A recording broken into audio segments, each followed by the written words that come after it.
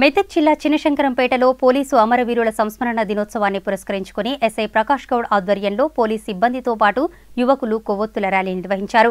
అనంతరం అమరులైన పోలీసులకు నివాళులు అర్పించి వారి త్యాగాలను స్మరించుకున్నారు. అనంతరం ఎస్ఐ ప్రకాష్ గౌడ్ మాట్లాడుతూ విధి నిర్వహణలో అమరులైన పోలీసుల త్యాగాలు మరవలేనివన్నారు. ప్రజల సంరక్షణకు పోలీసులు ఎప్పుడూ సిద్ధంగా ఉంటారని ప్రాణాలను సైతం పనంగా పెట్టి విధులు నిర్వహిస్తారని చెప్పారు. ప్రతి సంవత్సరం అక్టోబర్ ట్వంటీ ఫస్ట్ను పోలీస్ అమరవీరుల సంస్మరణ దినోత్సవంగా జరుపుకోవడం జరుగుతుంది.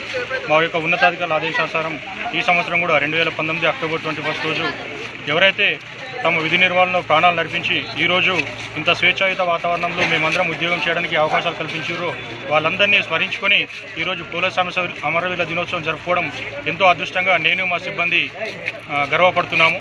ఈ యొక్క క్యాండిల్ ర్యాలీ ఈరోజు పోలీస్ అమరవీరుల దినోత్సవాన్ని స్మరించుకొని శంకరపేట చౌరస్తా నుండి సుభాష్ బొమ్మ వరకు క్యాండిల్ ర్యాలీ తీయడం జరిగింది. ఇటు క్యాండిల్ ర్యాలీలో పార్టిసిపేట్ చేసినటువంటి శంకరంపేట గ్రామ యూత్ ప్రజలందరికీ శంకరంపేట పోలీస్ తరఫున ధన్యవాదాలు తెలియజేసుకుంటూ మరొకసారి విధి ప్రాణాలు అర్పించిన జో అమరవీరులందరికీ మా యొక్క జోహార్లు తెలియజేస్తున్నాము. Thank you